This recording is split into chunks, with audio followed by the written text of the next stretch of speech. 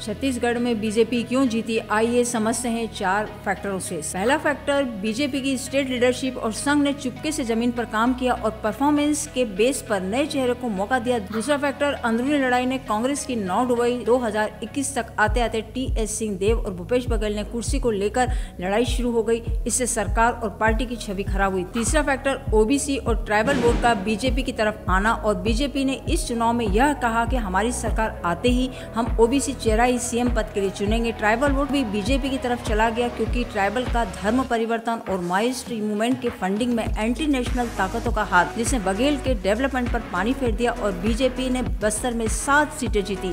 चौथा factor ground anti इनकम्बेसी का गलत आंकलन और महादेव बेटिंग ऐप का आरोप। बघेल सरकार के ज़्यादातर मंत्री हार गए। एंटी इनकम्बेसी के चलते ऐसी वीडियोस देखने के लिए चैनल को सब्सक्राइब कीजिए।